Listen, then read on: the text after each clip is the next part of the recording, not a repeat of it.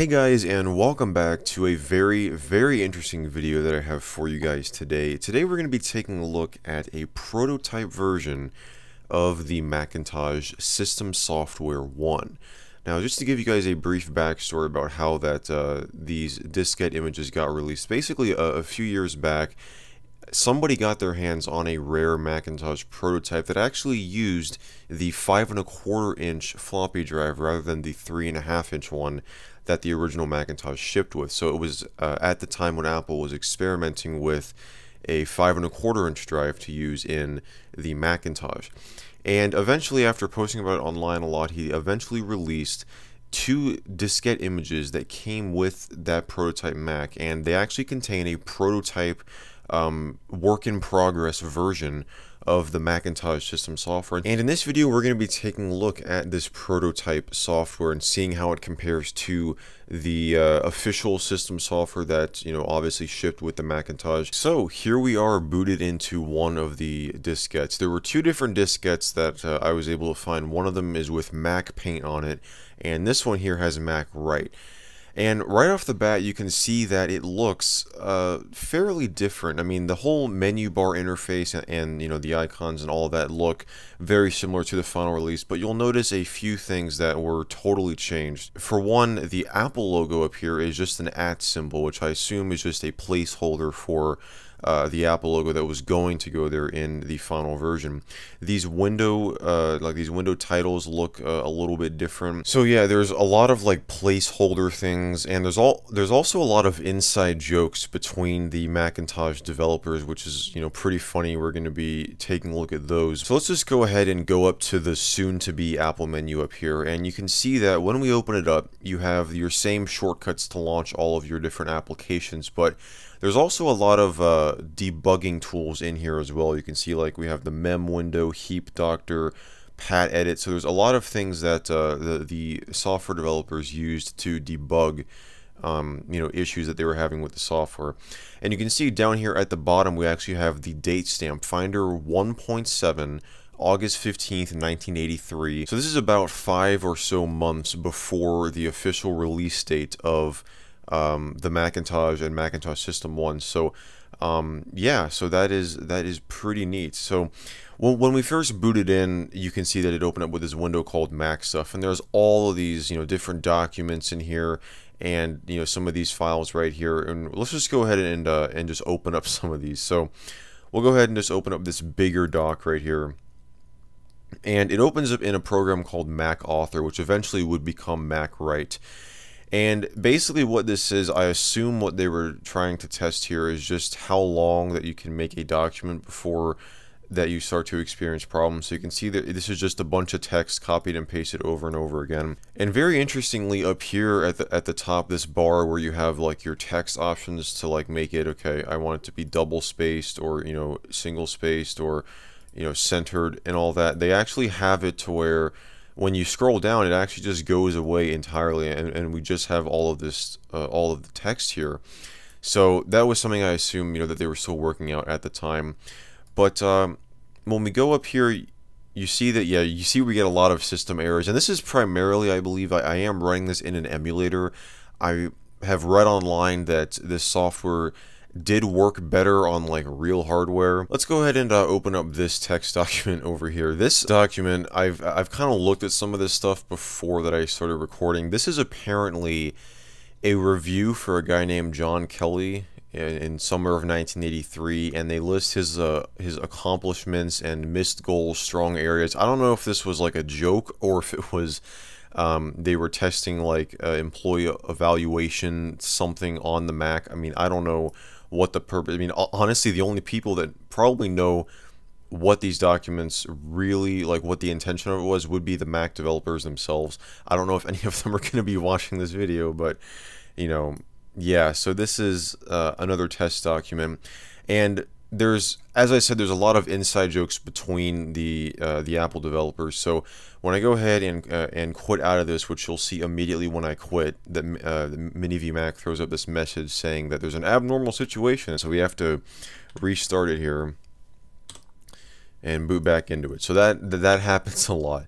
Uh, in this freak out document right here, you're going to see there's a lot of uh, just ramblings from the Mac developers and there's also some very obscene text and it says this is a test of the Macintosh the I is like intercapitalized of the Macintosh word processor. As you may know, it was recently overhauled to make it work better. So yeah, we, have got that. These actually I haven't taken a look at. We'll go ahead and, and open this up. So so what's the haps? Well, it's it's approximately 7:30 a.m. They were probably working really late that night, and I'm frustrated from trying to call you. Here I have an elaborate dialogue all set up from the Apple phones all turn busy. Then your home phone to message the number you received. So this is like a letter to somebody, I guess. I don't know. Dear Veronica, September 14th, 1983. And here's another part to that document, RS2, which is a extension of the previous document. He talks about Central America. I mean, you guys can pause the video if you really want to read this whole thing, but so something that I find pretty hilarious is when you open up like one of these files that the Finder can't open, it'll come up with this with this window right here that says Steve says, and you have like a like a um, little icon of Steve Jobs, and he says, I don't know how to open this file. Please set the file type and its creator for an application type as a PPL, and the creator is its own signature. So again, another like developer inside joke thing going on here, but I, I mean this is basically like an error message but it uh, adds like this you know Steve Jobs deal going on over here. So that's so that is uh, some of the stuff inside of this Mac stuff. So we'll go ahead and uh, close out of this Mac stuff um, floppy diskette and anonymous I don't know what this is but you you will notice that the floppy disk icons here are the three and a half inch ones even though that this was running on a uh, on a Twiggy Mac, so on a five and a quarter inch drive. So I was reading online as well that this may have been one of the last prototype uh, software releases that was made for the Twiggy Mac because at this time I assume Apple had made the decision to move to the three and a quarter inch or sorry the three and a half inch drive. And uh, they you know indicated that with these icons here. So let's go ahead and take a look at some of these applications. So some of these apps like the calculator honestly look very similar, if not identical, to the final release. So there may have been like some under the hood changes they had to do. But overall, I mean, it functions like you would expect it to in the final release of the Mac OS. But there are a lot of things like um, like the heap doctor and the memory window. And so these are literally just debugging tools. That's what their intention is. So they were never released to the public. So, you know, that gives you some uh, some debug information keyboard this is like a keyboard test to where I'm sorry but renaming must be done by using the interim menu. Oh so when you start to type it just comes up with that with that dialog box. But it's it's basically to test your keyboard. So if you notice this like the split second before that the that the Steve says box comes up when I press a key you'll see that it will oh, I guess I can tell it there. So it's basically just to test like the keyboard layout. So I, I guess when you type yeah, when you type anywhere on the desktop, it just comes up with that because they did have uh, all of like the rename and the move options up in this interim menu up here. So in this menu is where you have options to rename, remove, set icon, set file info.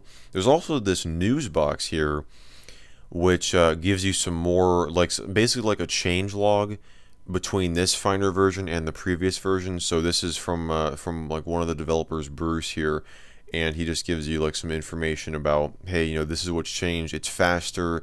It's going to uh, you know continue to or he's he's going to continue to work on making it faster. So yeah. Also you cannot move an icon around because it just comes up with this saying i'm sorry but dragging objects on the desk has been temporarily disabled pending a major rewrite. So if we wanted to like with this empty folder here if we want to change the icon we can change it to you know there's all these different icons in here uh, so we can make it you know if we, if we want to make it like the Steve Jobs icon we can do that. And then it immediately throws up an error. You can see that the icon did change but it totally froze there so we'll go ahead and reset it again. Um, but let, let's go ahead and move on to the Mac Paint diskette and see what's on that. So we're gonna go ahead and drag that in here so we have that same Mac stuff window open up here with all of the files in it. There's actually different files in here than what was on Mac Write? So we don't have any of those text documents. We have um, some paint or like some Mac paint documents. We also have these very interesting icons here. um, which probably indicate how sleep deprived that all of the software developers were because the Mac developers worked like 90 hours a week sometimes. So they were probably pretty sleep deprived. So this may be, uh, again, like another inside joke between them. Um, kind of, you know, like this uh, zombie, you know, half asleep icon. And again, when you open these up, it comes up with that same Steve Says box. And uh, the full Mac Paint program is in here. So uh, when it, you know, when you open it up, it has honestly looks kind of like Microsoft Paint. I don't know, like it literally. This is a very similar layout like to MS Paint in Windows 3.1. Totally reminds me of that. And it says Mac Paint by Bill Atkinson, who was one of the software developers. And it immediately says get what document, and you would just type it in, and you would click on get old, I guess. So again, you like you have to hard key it in, so there's like no file browser. But let's just go ahead and make a new document here. Oh, we got to type the name of the document. There's there's another icon there. Um, let's just name this test. I don't know if it's actually going to let us make a new document. Oh, it will. Cool. So you notice right away that the Apple logo is here. So it has replaced the at sign. And when we do this, we still get all of those, um, all of those, you know, programs uh, in here. But we also get this Mac Paint by Bill Atkinson version 0.5, copyright 1983. So kind of the same thing as with the Finder version from just the desktop, but it's specifically for Mac Paint. So, you know, we can go in here and, you know, draw whatever we want. We can go ahead and make the whole screen painted. Um, you know, it's obviously only black and white, but we can choose different shades of black and white. So we can make it like you know, like this shade if we want to, you know, this like little pattern here. So that's pretty neat. We can draw shapes. So when we go to the file menu here, we got save and continue, revert to save. So, you know, like your regular save options, edits, undo and paste, and aids. Uh, so we have like a grid, um, fat bits, show page, text style, brush shape, edit pattern. So brush shape, I can change the shape of the brush. So if I want it to be like you know, a, a really small square, which doesn't, I guess I got to go to the brush. Yeah, so now it's a really small square, or I can make it a really big circle. There you go. Um, text style, we can, so it will come up with this, gives you a preview of the font. So if I want to make it like Helvetica or Times New Roman, which is shortened to Times Roman, we can change the font size. We can make it bold, italic, underline, outline, or shadow. Um, we can make it all of these things and we can align it to the left, the right, or the center. So let's go ahead and do that and then let's go to the text tool here and type in Mac Paints. that's actually pretty cool. Oh, I was going to press Control A and you can see that that's not how the that how the Mac works. That actually looks pretty cool. Um, we got like the lasso tool as well, so that's neat. Wow, they they had like a lasso tool in here. That's pretty neat. So yeah, that is a that's that that's Mac Paint, a, a, really early version of it. We'll go ahead and quit out of this, and we'll go ahead and yeah, let's save it. And now it's going to give us a system error, and we have to restart. So let's go ahead and boot back up into here. Um, so we also have some drawings from the developers and stuff, and you know, you know, like some bitmap files. So this explosive one here. This is pretty cool. It's like a check here. So it says uh, July FY 83 results something and it's got yeah like a drawing i don't know if they drew this themselves or if they like imported this from something else but again when we restart it's so annoying that we have to do this every single time but so, so that was when we got bomb here which is a I guess a more completed version of that same document. You've got dots. So okay, so this is actually the drawing of the like the Macintosh art style where like this would be on the box and stuff. So that's pretty neat. I don't know if they drew this in here, but it kind of looks like they did. So yeah, there's a lot of different, uh, let's go open a mousey. So this is, uh, again, I mean, this is so cool, but I don't know if this is a drawing of, like, by the developers or if they imported this from something else, but this looks really cool. So this is like a, a drawing of, uh, of the Macintosh mouse. Um, I guess giving like a graphic on, on like how to use it, I guess. So that's pretty neat. So right clicking obviously isn't a thing because the Mac mouse only had one button, but the get info panel that even like Mac OS, like the modern Mac OS, I was about to say Mac OS 10, but they changed the name back to Mac OS. But even the um like the get info panel is in this super early prototype version. So if you go to file and get info, it'll come up with this window right here saying information about Mac stuff. Mac stuff is a disk. which is in the internal drive, and it tells you the size of it. It tells you the type, which is Sony disk cartridge, which Sony um, is who Apple was working with to get the three and a half inch drive. So it just flat out tells you Sony disk cartridge, and then user comment. This is the user comment is editable using the edit menu and the mouse selection. But yeah, on this disk as well, you also can't move things around. And I think you can still rename stuff. Yeah, so if I want to rename empty folder to cool folder and hit OK and it, and it changed it doesn't crash so that's good. Uh, I got the same news box. I think this one might actually be a little different so we'll go ahead and hit done there. Set icon is still the same thing. Debug window still comes up with this and which when you actually like move the mouse and, and when you click somewhere it, will just you know spit out a bunch of information in there telling you like what you did click it tells you like like the exact point on the screen at where that you clicked so that's cool. There's also a desktop pattern editor, and that's this pat edit right here, which this just lets you uh, change the pattern. So I can just, you, you can actually like draw your own pattern basically, and then just set it, and there you go. All the icons went away for some reason. So yeah, I mean, that's that's pretty much it for this desktop pattern editor. There, there were no like desktop backgrounds or anything, but I mean, this was like the best that you got. I mean, because this this was again like a black and white display, so there were no like editing your desktop background. But you can see it's definitely very screwed up because the icons just disappeared. I can still open them though. But now see, this might be something with the emulator. I'm not 100% sure though because I haven't tested this on real hardware because I don't have like a Twiggy Mac prototype. Although I've heard it is possible to copy the contents of the image here, of the floppy drive image, to an actual 3.5 inch drive and put it into a vintage Mac. And I think you do have to change the ROM. There's a few videos of people actually getting it to work, but that would be a really involved video for trying to get this to work on real hardware. So that I may decide to do that eventually, but honestly, just for now, that's going to go ahead and uh, and wrap it up for this video. So I hope you guys enjoyed this uh, this look at this vintage prototype Macintosh software of uh, Macintosh System 1. Honestly, I think that, you know, this is pretty cool.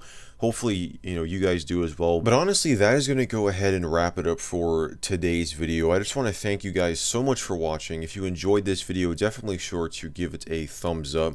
Be sure to get subscribed down below if you want to see more videos like this in the near future. And also be sure to drop me a comment letting me know your thoughts on this Macintosh prototype system software. I'd you know love to know what you guys have to say. And as always, I will see you guys in the next video.